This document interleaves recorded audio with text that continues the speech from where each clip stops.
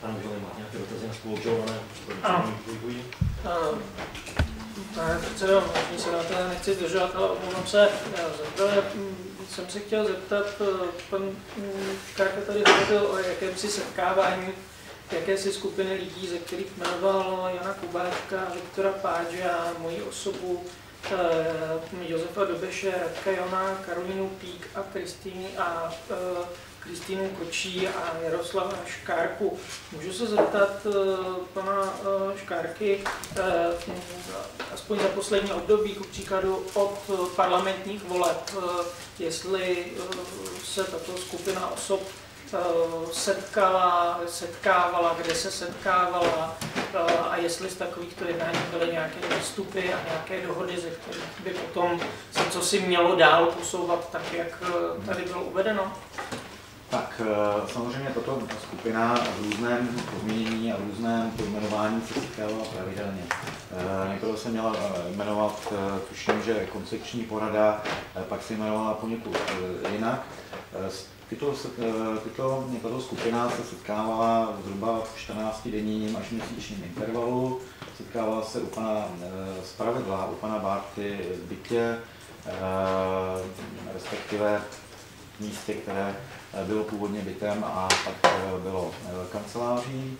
A tato skupina byla úzká skupina toho loajálního vedení panu Bartovi. Tuto, tuto, tyto porady byly pravidelně pan Bárta.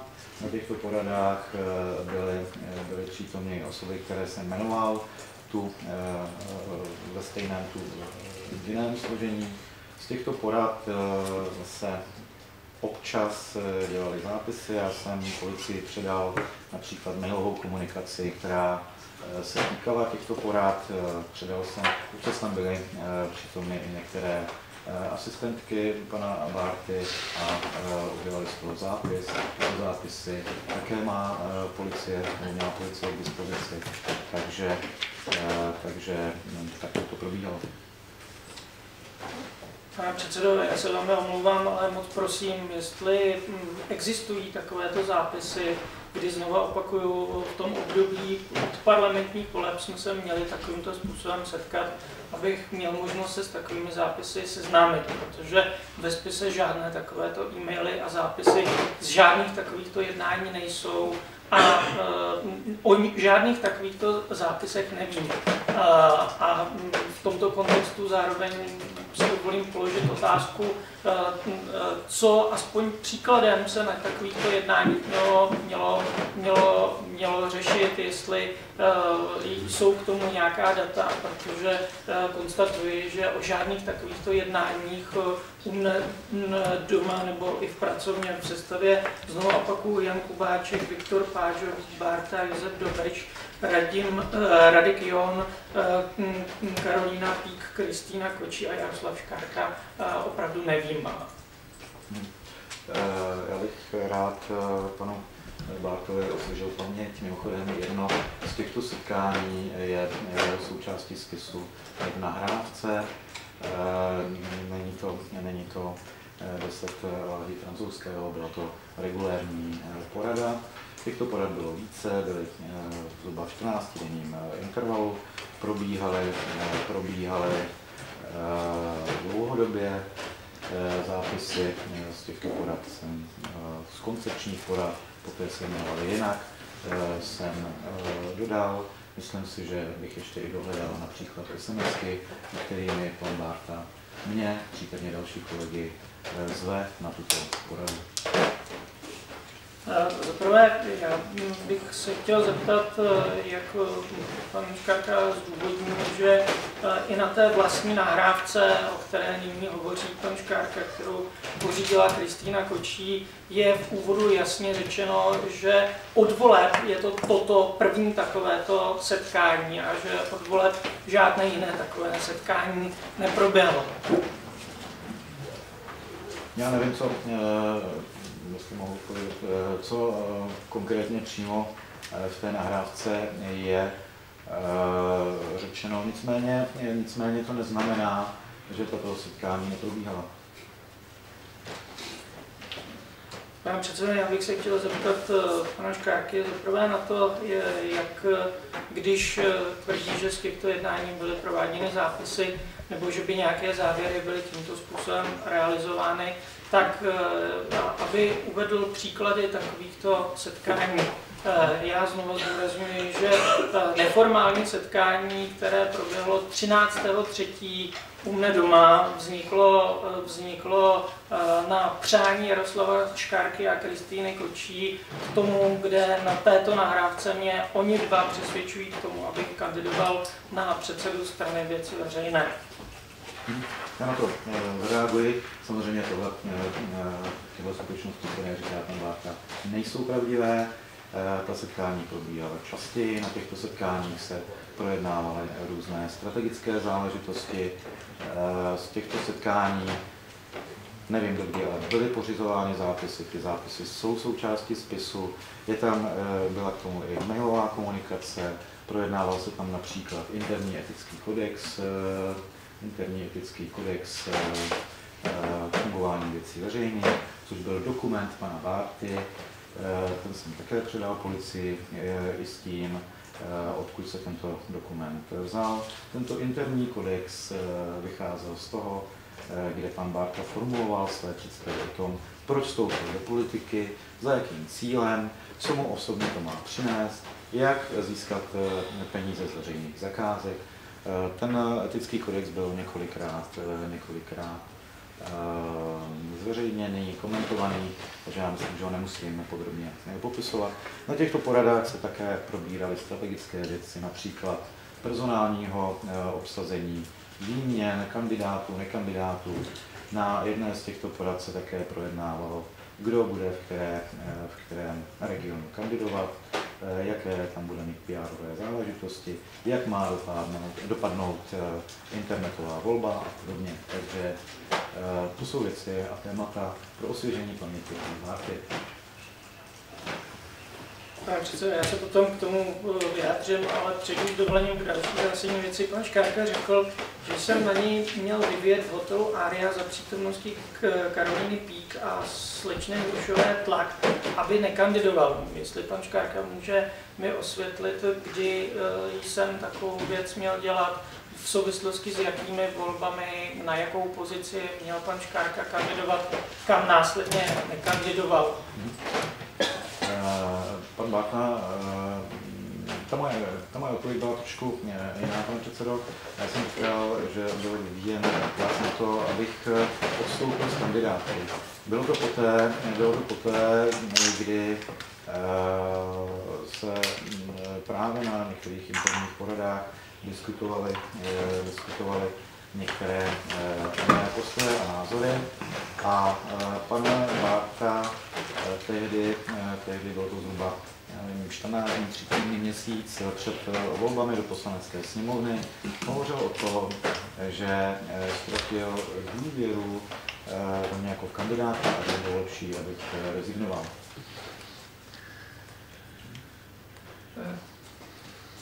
Yes se k tomu zase vrátím později. Otázka číslo 3. Eh, jak eh, pan Škárka tvrdí, že jsem měl nějaké politiky vydírat, tak jestli může uvést, jaké politiky jsem vydíral a čím. Eh, uvedu jeden konkrétní příklad. Zastupitel městské části Praha 1, pan Vladika, na něj, na něj byl vyvíjen velmi silný osobní, fyzický a psychický nátlak pro to, aby Eh, odstoupil eh, ze zastupitelského klubu. Mohu se zeptat znova, čím jsem měl pana Vladiku vydírat? Hmm. A jestli uh, pan Škárka může popsat nějaké jednání, kdy já jsem hovořil s panem Vladikou?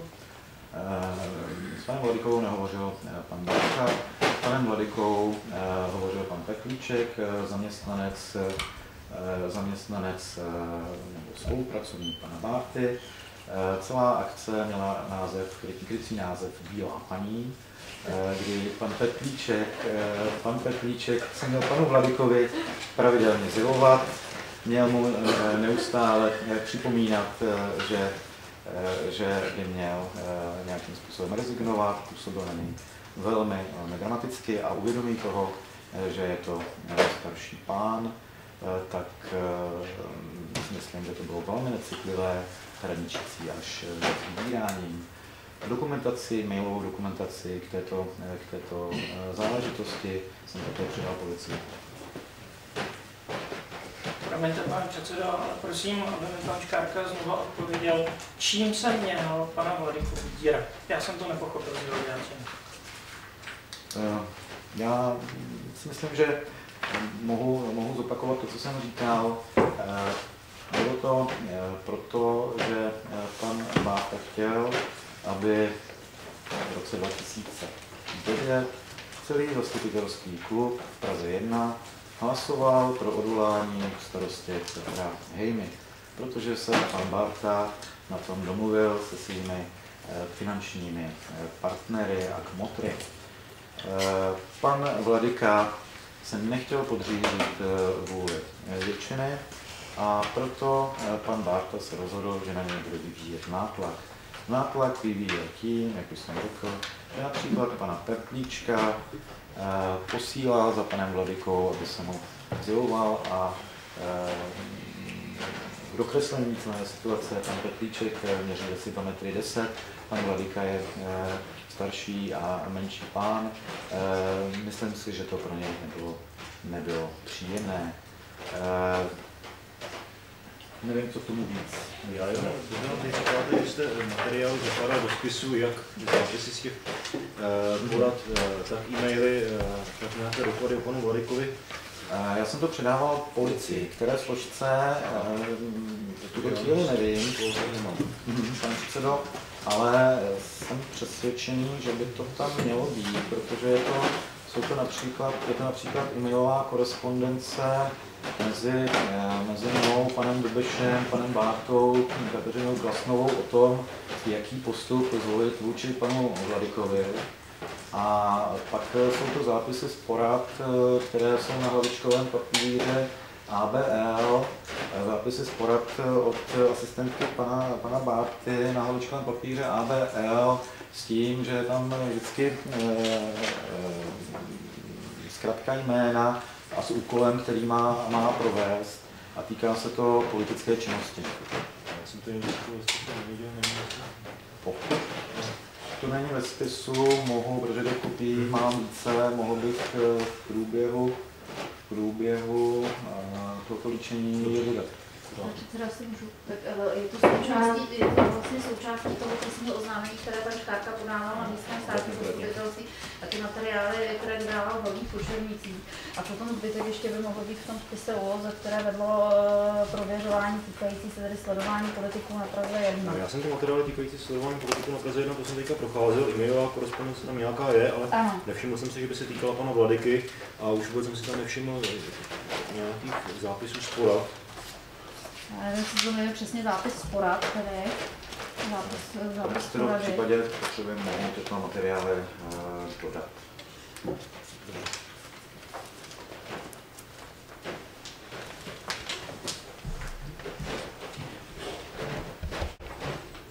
Vážený pane předsedo, vážený senátor, dovolte mi otázku.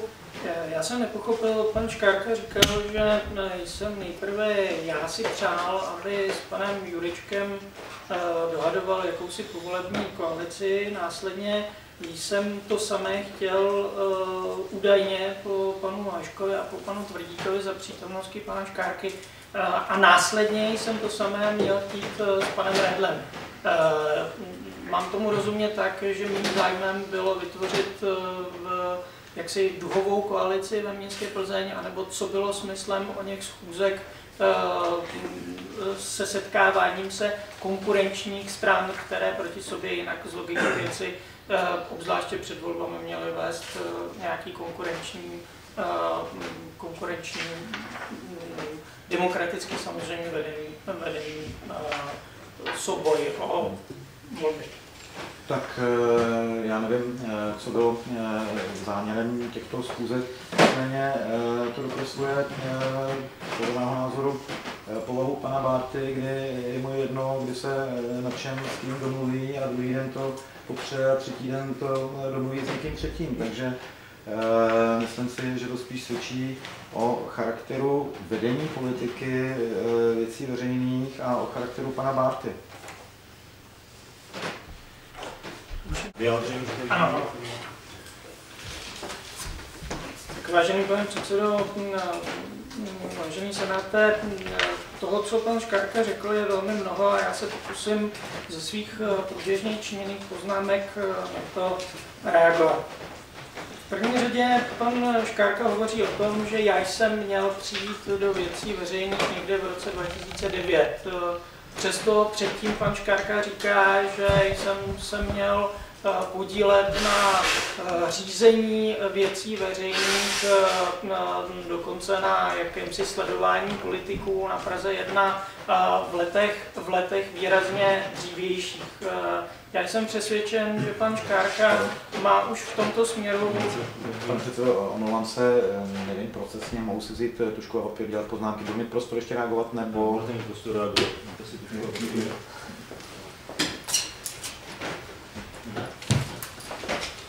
Cítím jednoznačně rozpor, účelový rozpor v tom, kdy konkrétně a jakým způsobem jsem měl věci veřejné ovlivňovat.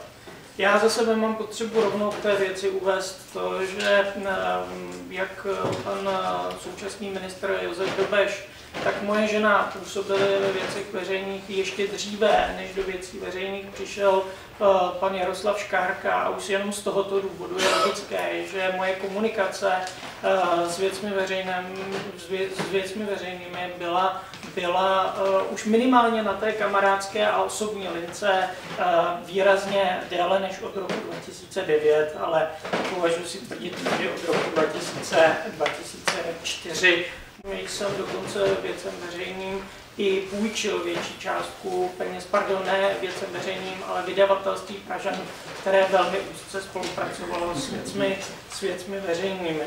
Celá kategoricky popírám, eh, že by eh, pan Tomáš Vedlička a pan Janoušek měli s věcmi veřejnýma něco společného. Pan Škárka, stejně jako eh, řada dalších takovéto věci, včetně mé osoby, vyvraceli eh, na základě mediálních útoků, které někdy od května nebo eh, června roku 2009 byly vůči mé osobě a věcem veřejným vedeny. Eh, tuším, že ten první článek byl napsán v denníku Lidové, Lidové noviny. Já jsem přesvědčen, že v pozici ministra dopravy jsem činil vše proto, ve své politické funkci a v rámci vší odpovědnosti, abych vyvrátil pochybnosti o tom, že by ve věcech veřejných pan Hadlička či pan Janoušek měli mít jakýkoliv vliv. Učinil jsem tak mimo jiné s tím, že jsem zcela veřejně zakázal vstup těmto dvěma podnikatelům na ministerstvo dopravy a učinil jsem tak záhy, což jsem se stal ministrem dopravy. Bylo to jediné gesto, které jsem mohl mediálně i veřejně učinit proto, abych se od těchto osob mohl veřejně distancovat a chránit dobré jméno věcí veřejných. Zároveň uvádím, že vůbec uh, odmítám připustit jakékoliv ekonomické plnění vůči těmto pánům, stejně jako odmítám jakékoliv debaty o veřejných zakázkách v rezortu ministerstva dopravy ve spojení s těmito pány. Uh, považuji celou věc ze strany, ze strany pana Škárky za další z mnoha lží, které pan Škárka účelově eh, vrhá na moji osobu i věci, i věci veřejné. Eh, co se, týče, co se týče toho, že bych na pana Škárku tři týdny před volbami, před parlamentními volbami eh, vykazoval nějaký tlak na to, aby nekandidoval, považuji za naprosto absurdní, Stejně jako další jakékoliv tlaky, ať už, ať už v Mikulově či kdekoliv jinde. A připomínám v tomto směru eh, Kristýnou Kočí pořízenou nahrávku z restaurace Studna, kde sám přesvědčuju Kristýnu Kočí o tom, že podobně šířící se fámy, které šířil pan Škáka a Kristýna Kočí, jsou zcela lživé a nesmyslné. A mimo jiné jsem je zdůvodňoval tím, že i kdybych měl ambici nějakým způsobem ovlivňovat uh, uh, řízení věcí veřejných tímto způsobem, Zcela tato aktivita by byla nesmyslná, protože číslo dvě na kandidátce věcí veřejných byl asistent pana Škárky, který následně i vykonával funkci asistenta pana Škárky v poslanecké sněmovně a tohoto pána, jehož jméno, promiňte, si nemůžu ani vybavit, je člověk, kterého já jsem poprvé eh, s ním reálně mluvil, teprve po vlastním puči eh, ve věcech veřejných, to znamená někdy v dubnu, květnu roku, roku, 2000, roku 2011. Jinými slovy řečeno, snaha o odstupování pana Škárky je naprosto nesmyslná, absurdní a už vůbec si nedokážu představit formát, eh, kde by si měla sednout tisková mluvčí, tehdy tisková mluvčí věcí veřejných, eh, paní Hrušová, k tomu Karolína Pík a ve třech bychom měli přesvědčovat pana Škárku, aby nekandidoval. Uh, Za prvé k tomu, když už bychom měli mít takovýto zájem, tak tři týdny před volbami věci veřejné na radě věcí veřejných vyloučili, vyškrtli z kandidátky uh, uh, dva lidi v Ústeckém kraji, které se ukázalo, že byli velmi intenzivně uh, spojeni s konkurenční politickou stranou. Věci veřejné v tomto směru i před volbami velmi nešťastně krváceli kontextu tohoto, tohoto vylučování a tudíž eh, eh, ten případný nástroj by byl prostřednictvím rady a ne takovýmto, ne takovýmto způsobem. Ale znova zdůrazňuji, že nic takového se nestalo a jedná se o zcela další lživé nařčení. Stejně tak považuji za, za opravdu, za opravdu promiňte mi to slovo, uh, vulgární, nestydaté, uh, označovat to, že já jsem někoho vydíral. Já pevně doufám, že i z opakovaně položených otázek jasně vyplynulo, že, že já jsem, jsem rád, že to v zásadě přiznává pan Škárka, ani s panem Vladikou v životě nemluvil. Uh, nevím o tom, že bych s panem Vladikou kdy ve zlém hovořil, ani, dokonce ani bez, v dobrém si nepamatuju, že bych s panem Vladikou hovořil. Stejně tak eh, pan Škárka ani tady na opakované otázky nebyl schopný říci to, jakým způsobem a na základě čeho jsem měl případně pana Vladiku eh, vydírat. Eh, považuji za velmi nefér a jenom další z mnoha lží to, že pan Škárka mě osočuje z toho, že jsem jakýmkoliv nedemokratickým způsobem se snažil ovlivňovat politiku, včetně jakéhosi zastrašování a dokonce přímo vydírání. Obávám se, že pan Škárka ani neví, co je vydírání z toho, co popsal tady ve vztahu k tomu, eh, co se dělo údajně, co se mělo dít eh, mezi panem Bertlíčkem a panem, panem Vladikou. Eh, co se týče, co se týče záležitostí dotýkajících se, dotýkající se Plzeň, Plzně, já opravdu nerozumím tomu a mám potřebu se k tomu znova vrátit, jak jsem měl údajně pana Škárku eh, nejdříve propojovat s panem Jurečkem, eh, eh, s člověkem, který v tomto směru v Plzni má zásadní slovo. Následně jít pro změnu za panem Haškem, dokonce s dalším lobbystou panem Tvrdíkem a následně domlouvat co si.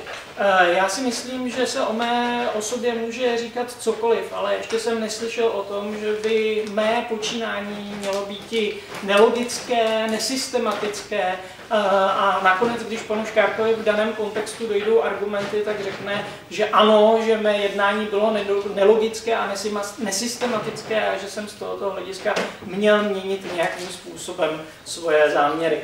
Neměnil jsem svoje záměry, pana Redla jsem protnul s panem Škárkou na základě toho, a podotýkám zcela demokraticky, na půdě poslanecké sněmovny za přítomnosti manažera strany proto, že mě pan Redl informoval, tak jak jsem ve své výpovědi tady uváděl, o velmi podivných nedemokratických eh, aktivitách, eh, které se v plzeňském eh, regionu děly. Zároveň mám potřebu uvést, že v plzeňském kraji byly velmi špatné volební výsledky věcí veřejných, především v komunálních volbách. Bylo tam i málo klubů, bylo tam málo členů a i v tomto kontextu každý ministr, každý poslanec, každý člen věcí veřejných ve vedení strany zcela logicky podle mne měl vykonávat aktivity směřující, směřující k posílení uh, strany věci veřejné. Ale podotýkám, v žádném případě ne tím, že by pan Redl měl vstupovat do věcí veřejných. Nikdy s panem Rédlem v tomto směru ta debata takto vedená nebyla. S panem Rédlem ta debata byla vedená k tomu, že pan Rédl upozorňoval na to, že jakýsi lidé z ODS, dokonce nominovaní do správních rad eh, eh, Plzně, eh, do dceřiných společností Plzně jsou ve věcech veřejných a vedou tady tuto povolební, podotýkám ne předvolební, ale povolební jakousi štvovou kampaň. Stejně tak mám potřebu se zcela jednoznačně ohradit vůči tomu, že by Eh, že by eh, eh, že bych organizoval porady v sestavě Jan Kubáček, Viktor Pážo, Vít Bárta, Josef Dobeš, Radek Jon, Karolína Pík, Kristýna Kočí, Jaroslav Škárka že bychom se e, nějakým způsobem setkávali pravidelně v řádu 14 dnů, ba dokonce, že by nějaké asistentky z takových jednání pořizovaly zápisy, ba dokonce, že by z těchto jednání e, byly, byly činěny kroky, které následně poslanecký klub e, nebo, nebo věci veřejné měly, měly realizovat. Nic takového se nestalo a připomínám nahrávku u lahví těžkého vína, která, promiňte, jenom ji označuju pracovně uh, proto, aby každý věděl, o jaké nahrávce hovořím. Uh, tak 13.3. tato nahrávka začíná debatou o tom, že jsme v jakémkoliv neformálním formátu, v neformálním formátu, který ani neodpovídá té sestavě, o které pan Škárka hovoří, setkali poprvé od voleb. Od parlamentních voleb, když jsem nastoupil do poslanecké sněmovny, jsme se ocitli na obrovském tobogánu politických aktivit, kdy nebylo ani na žádné osobní setkání čas. Ani na mé vlastní svatbě se takováto sestava lidí nesetkala. Natož, aby se takováto sestava lidí pravidelně u mě doma jednou za 14 dní setkávala. Eh, je to jenom z, mnoha dalších lží, které se pan Škárka dopouští a schválně jsem opakovaně pokládal otázku, jaké konkrétní závěry z o něch koncepčních porad, nebo, nebo jak tomu pan Škárka říká, eh, se měly uskutečnit k tomu, jak následně poslanecký klub věcí veřejných či vláda jednala. Všechny formáty, o kterých vláda a poslanecký klub jednala, byly oficiální schůzky, jednalo se, a můžu je i odříkat, každé úterý od pěti hodin probíhala ministerská porada, koordinační porada ministrů za přítomnosti předsedkyně poslaneckého klubu, za přítomnosti analytiky věcí veřejných. Pravidelně probíhaly setkání poslaneckých klubů, ze kterých máte zápisy a kde pan Škárka se k mnohému, když chtěl, dokázal jasně vymezit a jasně se vymezoval. I když následně nám tady říkal, že se nevymezoval, že, že k tomu neměl v tomto směru jakýsi dostatečný prostor. Měl ho. Pan Škárka ve stejném duchu lže, když říká, že já jsem po něm, po něm chtěl, aby rezignoval na svoji funkci eh, v Mikulově. Eh, podotýkám, že v Mikulově se jednalo do pozdních večerních hodin, někdy do 8, do půl deváté večer. Potom bez jediné přestávky celý poslanecký klub šel i s vedením strany za přítomností ministrů do vinného sklípku, eh, kde bych přál, aby Senát viděl velikost tohoto prostoru a množství lidí, kteří zde seděli. Ten prostor byl velmi malinký a já jsem celý večer setrval se všemi poslanci. S jedním poslancem po druhým jsem hovořil. A někdy po půlnoci pan Škárka naopak byl zuřiv, že jsem se věnoval všem jiným poslancům než panu Škárkovi. A po půlnoci nakonec mě požádal o krátkou zkoušku, která trvala několik málo minut. To nebylo žádné dlouhé jednání a podotýkám, bylo v místnosti, v prostoru, kde se pohybovali všichni ostatní poslanci. Pan Škárka se na tomto jednání jasně vymezoval vůči tomu, že byl přehlasován na poslaneckém klubu, opakovaně na mě apeloval na to, že odmítá v tomto směru, aby věci veřejné byly sociální pojistkou koalice. Myslím si, že tam padaly i větičky, které konec konců od pana Škárky opakovaně jinak zaznívaly, že nemíní podporovat flákače, že chce Eh, aby věci veřejné zastávaly pravicovou politiku. Já jsem mu řekl, eh, promiň Jardo, byl si přehlasován poslaneckým klubem a pan Škárka se se mnou v tomto směru eh, rozešel. Ale podotýkám, ani mezi náma tam neproběhla žádná velká hádka, které by si všimli nějaký další poslanci. Podotýkám, že naopak druhý den se řada poslanců ptala, kde pan Škárka je, kde tam nebylo žádné, žádné, žádné noční drama ani ranní drama. Pan Škárka uh, dokonce řekl, uh, že vystoupení na ideové konferenci z tohoto hlediska eh, bylo dopředu domluvené jako, jako, eh, jako nějaká hra na pravou a levou politiku ve věcech veřejných.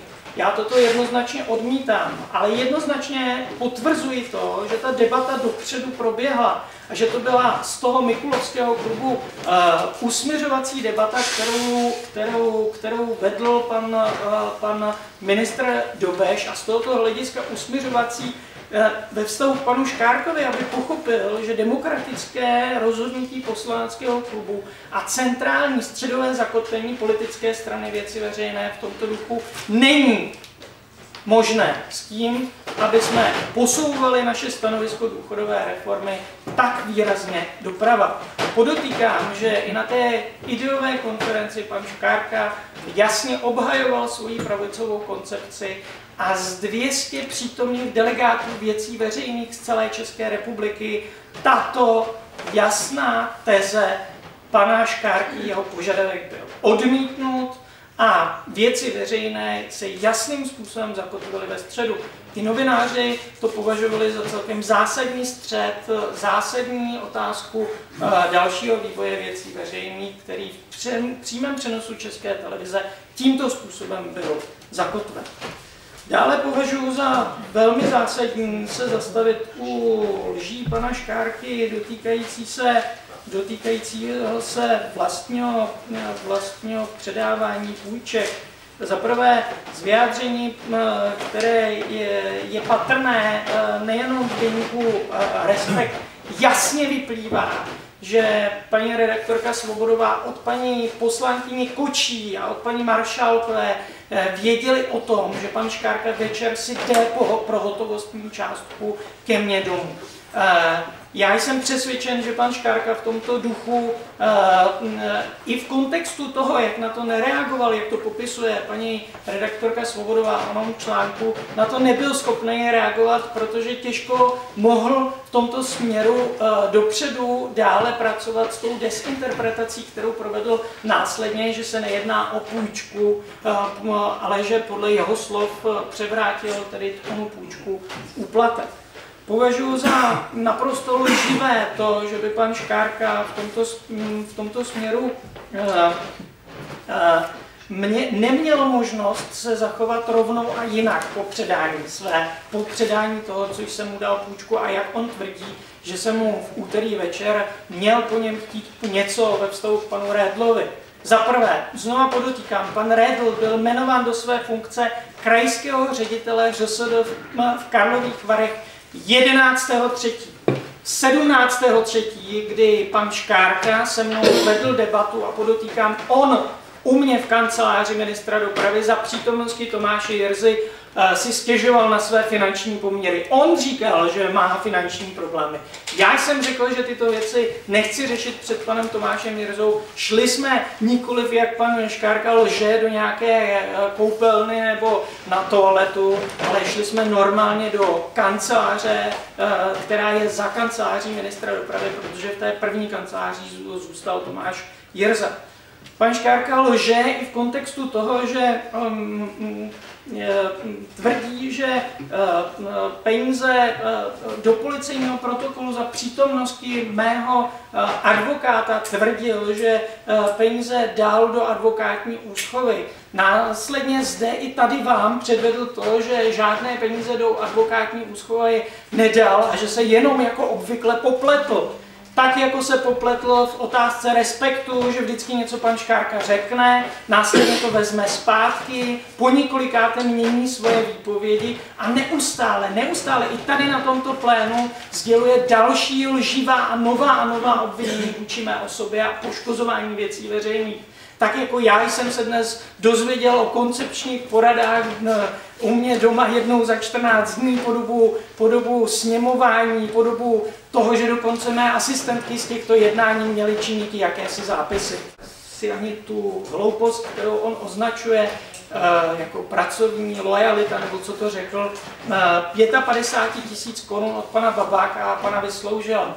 Uh, mimo jiné o tom, že lže, svědčí i to, že pan Škárka uh, následně, teprve po oficiálním daňovém přiznání, do médií přiznal, že dělal dodatečné daňové přiznání, ve kterém teprve v onom dodatečném daňovém přiznání na jaře po puči, po puči v roce 2011 dodělával daňové přiznání, dodělával dodatečné daňové přiznání, aby se vyrovnal s tím, kde údajně se dostal po něm 55 tisící koruna.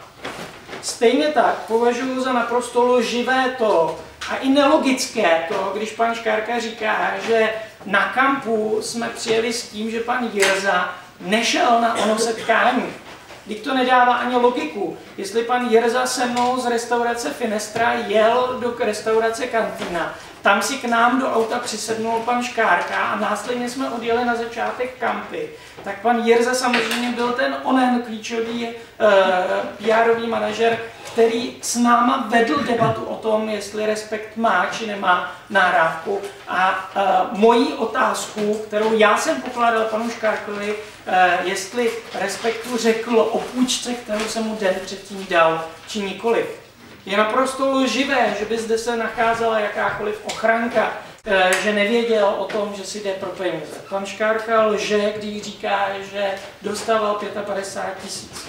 Pan Škárka lže ohledně pana Hrdličky a pana Janouška. Pan Škárka lže, když hovoří o jakémsi koncepčním nebo já ani nevím, jak tomu říká, dokumentu, kodexu, nebo jak tomu říká, na základě kterému mělo docházet k, k, k jakýmsi eh, tunelování státních zakázek. Já na ministerstvu dopravy, když jsem nastoupil, snížil jsem ceny, snížil jsem ceny staveb eh, o minus 5% na železnici, o minus 2,5% na silnici. Byl jsem ten, který zakázal více práce. Byl jsem ten, který dělal všechny kroky a veřejnost o nich detailně informoval o tom, jakým způsobem ztransparentnit a umravnit investice na ministerstvu dopravy.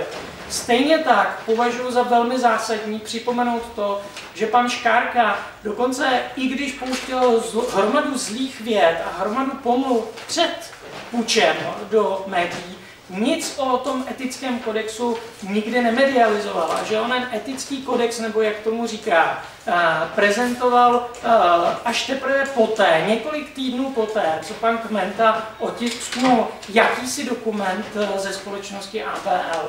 Já říkám, že i onen dokument, který potom Mladá fronta odprezentovala, když byl opakovaný tlak na to, aby byl odprezentován celý, byl jasně patrný, že je skompilován z řady dokumentů od pana Škárky z hlediska velikosti písma, z hlediska různých fontů, z hlediska kopírování různých a podle mě i jednoznačně dopisování řady, řadu dokumentů do sebe. A že v žádném případě v tomto kontextu ani pan Škárka celou krizi, především ony eh, události, které popisoval od Mikulova a tak dále, neměli sebe menší způsob a náznak a promítnutí s tím, o čem následně médiích informovat. Stejně tak považuji za zásadní upozornit na to, že eh, znovu říkám, že byly, je naprosto lživá informace, že u mě doma nebo u mě v pracovně, v mém domě, by se sestava lidí, které jsem pojmenoval pravidelně od parlamentních voleb setkávali v jakémkoliv formátu, a naopak ve výrazně menším formátu lidí, kteří zakládali parlamentní věci veřejné, jsme se pod voleb v zásadě poprvé setkali právě u oné nahrávky u červeného vína. Jejíž podstatou z tohoto hlediska nebylo z mého pohledu nic více než to, aby Jaroslav Škárka, Kristýna Kočí a přiznávám, že i jiní poslanci na mě apelovali, abych zvednul svoji kandidaturu na předsedu strany věci veřejných.